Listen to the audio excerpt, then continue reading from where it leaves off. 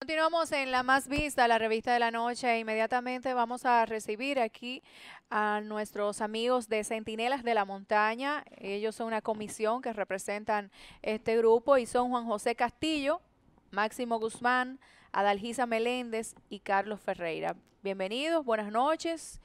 Primero yo lo que quiero es que ustedes nos digan qué son los Centinelas de la Montaña y para que la gente se edifique y todo eso. Y bienvenidos a la revista. Gracias por la invitación que nos han dado para participar en tu programa. Antes de responder tu pregunta... Vamos a, tomar el otro micrófono, Carlos, por favor. Ok, ahora sí. Disculpen. Gracias, Judy. Gracias a la revista de la noche por la invitación. Los Centinelas de la Montaña es una agrupación que nace por allá por el año 2010 a raíz de la depredación que se está dando en las lomas del Salitre. Ahí está la Loma del Salitre, el Guaconejo. Eh, desde las comunidades nosotros hemos estado librando una batalla tratando de que el medio ambiente, vamos a decir, sea protegido, el medio ambiente sea respetado. Nosotros desde el año 2010, como te dije, hemos empezado esta lucha.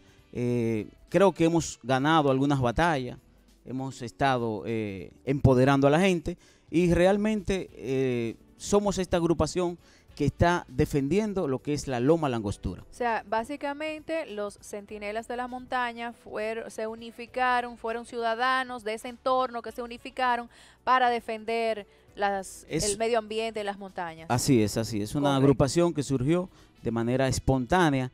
Eh, centinela, Judy, es toda aquella persona que de una u otra manera se siente identificado con el medio ambiente.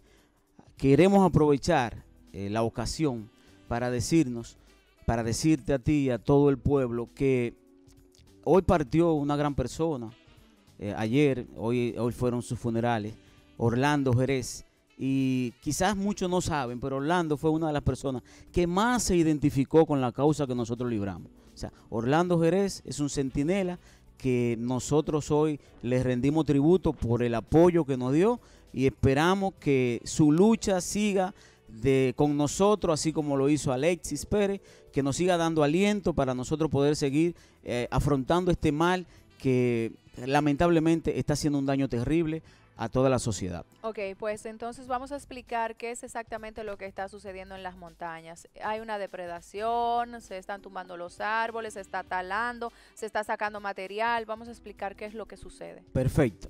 En, en la República Dominicana está lo que es la cordillera septentrional, que es la que pasa por toda esta costa, la costa norte. Entonces, en esa cordillera hay, existe una falla, para hacer un poco de historia. La loma del Salitre, la loma del Guaconejo, está en el centro de esa cordillera, está en el centro de esa falla que hay. Nosotros hemos hecho la advertencia de que si no se trabaja a tiempo, si no se paraliza, ¿qué está pasando, Judy, realmente? Eh, en la loma se está haciendo una explotación de una, de una mina en este momento. La mina la están explotando bajo un supuesto hecho de que es una cantera. Y lamentablemente ahí tú puedes ver una foto de la que nosotros tenemos, donde no se puede llamar cantera a un sitio donde nace un río.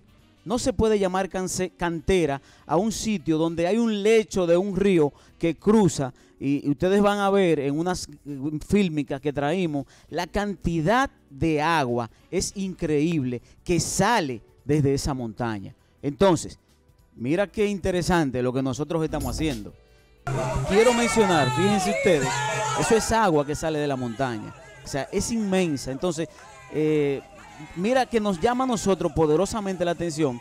El presidente Danilo Medina, lo traigo a colación, porque dijo que este cuatrenio iba a ser denominado o nombrado el cuatrenio del agua, donde se iba a proteger todos los afluentes de agua. Incluso, ustedes pueden ver la actividad que está haciendo la, presidencia de la República a través del Ministerio de Medio Ambiente en todo lo que es la cordillera central, específicamente en la loma, en donde está eh, el Pico Duarte, donde está Valle Nuevo, que es donde está la principal afluencia de agua. Entonces, nosotros estamos diciendo, no solamente se puede proteger Valle Nuevo, hay que proteger todos los afluentes de agua, porque dicen que la próxima gran guerra, la próxima gran, el próximo gran problema que tendremos la humanidad será con el agua y nosotros debemos de cuidar esa agua que sale de esa montaña. Hay un detalle importante y yo quiero que ustedes me aclaren porque dentro de las excusas, si se puede utilizar esa palabra,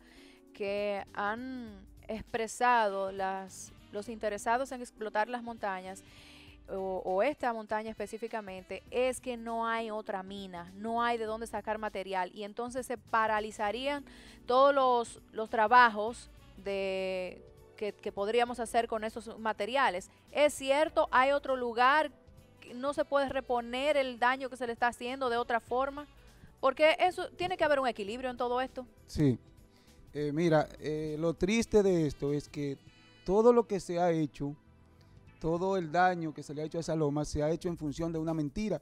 O sea, como decía el compañero Carlos, se ha hablado de que eso es cantera seca. Ustedes vieron que eso no es cantera seca. Lo segundo, nosotros como sociedad, como seres humanos, nosotros debemos dar priorizar las cosas, ver cuál es nuestra prioridad como seres humanos. ¿Es el agua o son las construcciones? Es verdad, es cierto, las construcciones son necesarias, pero tú tienes por ahí, por eso esos lugares de, Villa González, esa línea, que hay muchísimo material, donde eso sí es un lugar de cantera seca, donde ahí no se le haría daño a, los manantiales de agua que tiene nuestra provincia, que eh, eh, yo diría que la angostura es para, la provincia, es para allá, principalmente para esa zona de Juan López, lo que es Loma Miranda, lo que es Valle Nuevo. O sea, es cierto, no hay otra mina, pero por eso vamos a acabar la mina de agua. ¿Cuál es más importante, la arena o el agua? ¿Quién ah, está explotando esta mina ahí? Ahora mismo son la gente de la constructora Alba. Otra, y Juan, pero eso es a, otro nivel. Juan Almanza. Almanza. Toma hay, el micrófono. Hay otro, hay otro problema serio también, y es el daño de la contaminación que nosotros tenemos con los volteos. Eso es increíble, miren, traigo a colación este aspecto. Ahí tenemos la escuela de los Robles, varias aulas, cuatro aulas, que están funcionando en el Club de los Robles, en la misma cuesta de los Robles. Y esos volteos, eh, hay que ir a ir ahí para ver cómo esos niños están recibiendo clases. Hay que ir a ver, ir ahí para ver cómo esos niños salen a las 12 y tienen que crucetearse tienen que salir los profesores con ellos de mano para poder cruzar la calle porque los volteos no se paran, no se detienen. Pero anteriormente ustedes han llegado a acuerdos con la constructora Alba, tanto de que los camiones pasen a X horario, de que le arreglaran la carretera, de que repusieran eh, con siembra de árboles, etcétera. Todos esos acuerdos en lo que ustedes llegaron se han cumplido. ¿Por qué siguen ustedes? Porque ¿cuándo empezó esta lucha, señores? En el año 2010. Fíjate, en el 2010. Tenemos siete años. Siete años. Pero mira qué interesante tu pregunta. Sí, se hizo un acuerdo. Estando Tony Rojas como ministro, como encargado de Moca, de Medio Ambiente, se hizo un acuerdo. Y nosotros decidimos esperar, partiendo de que la mina sería cerrada el 15 de abril del año 2000, el, el, 30 de abril, perdón, del año 2015, que era cuando terminaba el permiso que le dieron las autoridades. Nosotros esperamos, hicimos el acuerdo en base a eso. Llegó el momento, no se cumplió. Pero algo interesante. no, pero espérate. Ahí había un permiso y un acuerdo. Pasó el 30 de abril del, del 2015 y de ahí en adelante se ha estado operando ilegal. Ellos volvieron, el Ministerio de Medio Ambiente, de manera irresponsable, lo me atrevo yo a decirlo aquí, volvieron y le emitieron un permiso. Ellos tienen un permiso para operar la mina hasta el 15 de abril del año 2020. Bueno, Carlos, pero ellos entonces tienen perfecto, un permiso. Perfecto, tienen un permiso. Independientemente de que medio ambiente haya sido, o sea, en una manera irresponsable y todo lo que tú quieras decir de medio ambiente, ok, pero ellos tienen un permiso. Estoy de acuerdo contigo. Para que un permiso se pueda emitir, Judith, es interesante saber lo siguiente. Debe de estar avalado por la Academia de Ciencias de la República Dominicana los, miembros de la Academia de Ciencias, a solicitud de nosotros, vinieron, hicieron el levantamiento y les demostraron al Ministerio de Medio Ambiente que no era factible, que no era posible ese permiso. Sin embargo, en complicidad con el anterior ministro, Bauta Roja, decidieron seguir operando y lo siguieron haciendo. Pero fíjate, algo interesante que debemos de puntualizar, porque tú dijiste ahorita algo eh, que, me, que, me, que necesito una respuesta para dártela a ti. Y es simple, Judy. Hay otras minas. Si cerramos esa, no se puede operar. Fíjate, en momentos de tecnología, tú coges el centro de la ciudad. Nosotros cogemos ahora televiaducto y tú te coges el Google Map y tú le coges, mide la distancia que hay desde televiaducto a la loma del Salitre y mide la distancia que hay desde televiaducto a las minas de Guaco que están ahí en, en La Vega y te vas a dar cuenta que es más cerca ya. Y, y, por terreno, o sea, los volteos pueden transitar por un terreno que es más fácil porque es una autopista. Fíjate bien. Sin embargo, se van a la loma. ¿Por qué? Por una simple razón, Judy. El material que, se, que están sacando en este momento de la mina, óyeme, yo te diría lo siguiente. Si se utilizara, si ese material se utilizara para reparar los caminos vecinales de Juan López, que están todos inservibles en este momento, Juan López, las lagunas y toda esa zona, los materiales no sirven. Pero, ¿qué resulta? que de cada 100 volteos de material que sacan de esa mina, 90 van a la parte de atrás de la casa de Rolando Alba para construir, para transformarlo en grava y arena. Entonces, realmente nosotros podemos permitir, o sea, la sociedad debería permitir que ese material se saque de la loma para convertirlo en grave y arena, teniendo nosotros ahí en Navarrete una zona que llega desde Navarrete hasta Montecristi, una zona árida que es ideal para ese tipo de material, para hacer ese tipo de, de extracción. Y tenemos que sacrificar la parte verde que nos toca a nosotros. Yo creo que eso es injusto, eso no es posible. Entonces, chicos, después de este paso, que ha sido una denuncia nuevamente a través de los medios de comunicación, en esta oportunidad en la revista de la noche, pero lo han hecho decenas de veces ustedes en otros escenarios, con protestas, con caminatas, con pancartas, donde yo misma he estado presente con ustedes.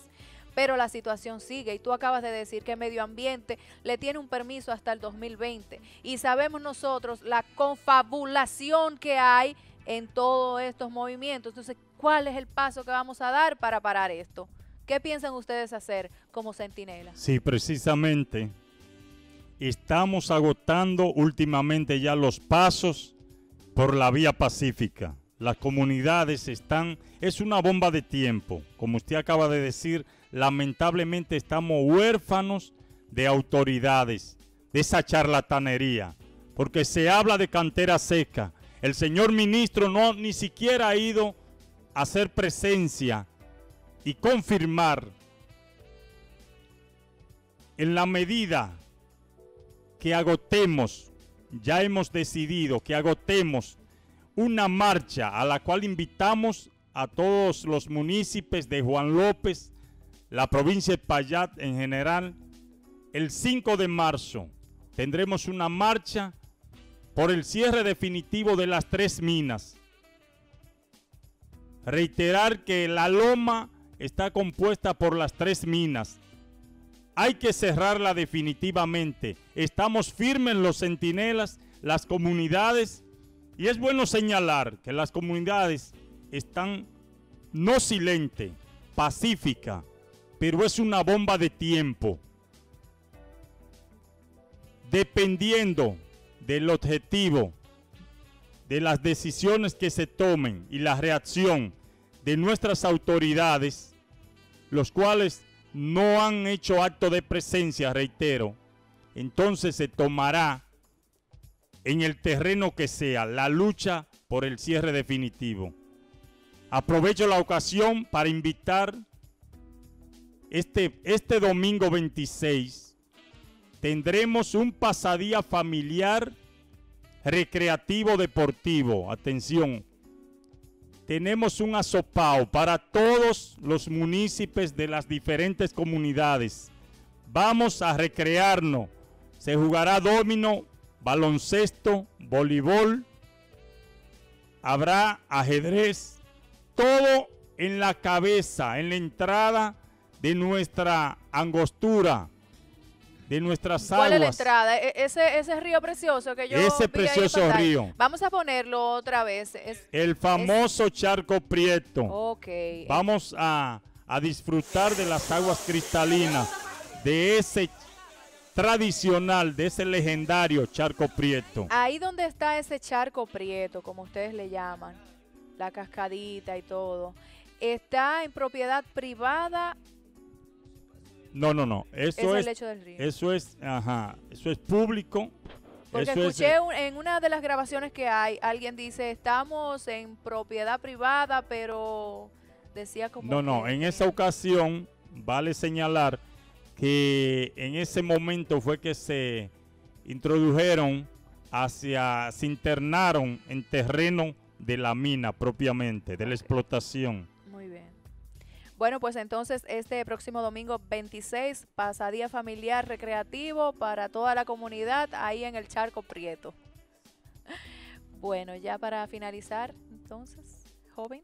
a donde yo le puedo decir que no es una cantera seca de ninguna manera, porque yo sigo todos los días y disfruto de esa agua y de esa cascada y me voy más lejos porque llego hasta la otra mina, a donde está el salitre, por ahí en esa misma área, yo llego allá. Y esos son muchos charcos que hay ahí y mucha cascada, como pueden ver en el video, y es un agua cristalina. Y de donde está la mina, ahí es que sale más el agua, de ahí es que emana. De donde está la mina allá arriba, es que sale el agua, allá que emana. Sale de ahí. Por último, mi gente, ¿cuántos son ustedes? Porque generalmente cuando se arman movimientos de protesta por situaciones como esta, se dice, no, porque eso es un grupito, y ustedes saben que siempre se dice, que andan detrás de algo, ya sea de dinero, de otra cosa, de lo que sea, de algún permiso, de no sé qué. Yo quiero saber cuántos son ustedes, si la comunidad completa está de acuerdo y están en protesta. Judy, el grupo de los centinelas somos más de mil personas. El grupo de los centinelas. Y ya que tú dices, ha- hablas sobre eso, yo quiero hacer un llamado realmente a todo, a toda la población, a todo aquel que tenga la sensibilidad para darse cuenta, la sensibilidad necesaria para entender que estas cosas son prioridad para la humanidad. Ve, dentro de 20, 30 años, nuestros hijos lamentarán eso. Es si ese daño no se detiene. Como lamentamos nosotros ya que no tenemos el río Moca. ¿Verdad que sí? Lo pedimos. Esos ya no charquitos. ¿Y que cómo nos se vuelve atrás? ¿Cuánto tarda la naturaleza para reparar un daño de esa magnitud? Bueno, realmente. Bueno, pues gracias por estar aquí en la revista de la noche, gracias por exponer su punto de vista y hacer el llamado a las autoridades.